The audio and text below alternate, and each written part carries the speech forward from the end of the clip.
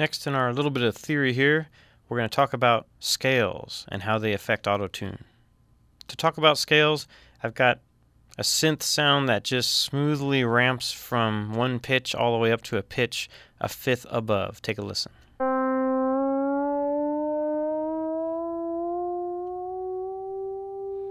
And then it ramps back down.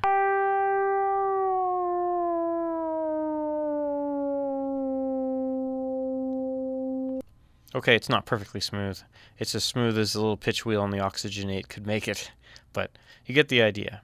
Let's open up an auto tune, and the auto tune is set to chromatically tune, key of C, but it doesn't really matter what key we're in if it's set to chromatic, because it's going to quantize the pitch to every half note on this piano keyboard. You can watch the pitch on the piano keyboard. Let's listen.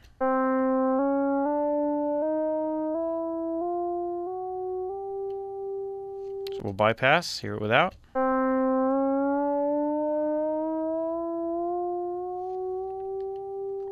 And then with auto tune correction.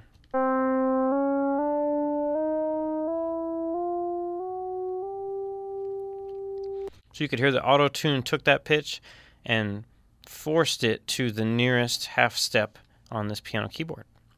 We could select the major scale and it would force it to only these notes on this list here C, D, E, only the white notes on the keyboard.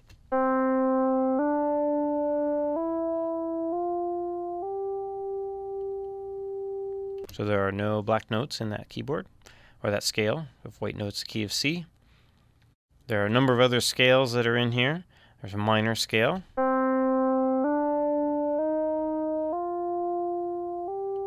So minor scale is the same as major, except the, the third is flatted. So you can see there, there's E flat on the third. And then there's lots of weird scales. Let's hear a Greek diatonic.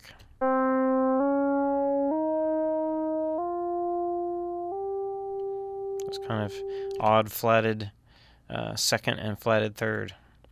And lots of others. Most of these are historical ones, like in the time of Bach and some of these other older composers, the scales they used were a little bit different. The tunings were a little bit different on instruments. So if you want to hear them in the older tunings, you can use auto tune to get them there. Or there are just different ones like Indian.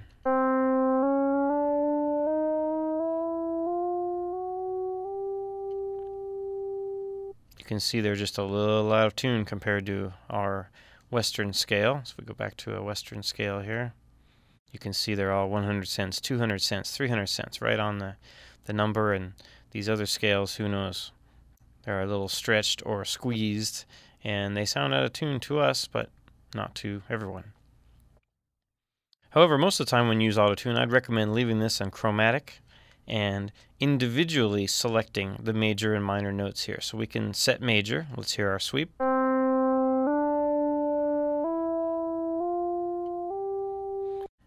You know, we've got a neat little melody that's got a few accidental notes here right around C. We want all those to be allowed, but we want it to be a straight major scale up at the top.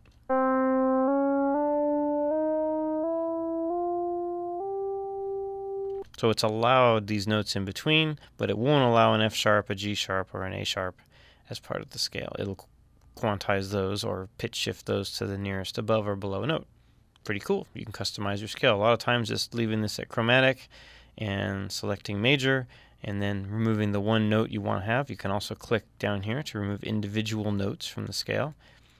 Let's hear what they sound like um, if we bypass them instead of remove. You have another option here, bypass. What bypass does is turns off the auto tune feature on that note. So we'll select a major scale, except we'll allow C sharp. So we heard the pitch smoothly slide all the way until we got to the D, and then it grabbed it and quantized to the E and kept quantizing from there. Pretty cool. How do you know when you need this? Well, if you start, you know, setting major scale and your singer sounds foul and a note, you can watch the scale down here, the piano keyboard, and see which note. If it's a bluesy note that's bent, you could just um, bypass it and say, all right, I'm going to allow that flat note to be a little flat or sliding because that sounds cool. I don't want auto tune messing with that note. I'll leave it alone. Or you can remove it from the scale and say, no, no, she meant to do major and she keeps leaning toward the, the minor. She's flat on her thirds. I'm going to remove those from the scale so there's no chance she'll be allowed to sing one. Auto-tune will fix it.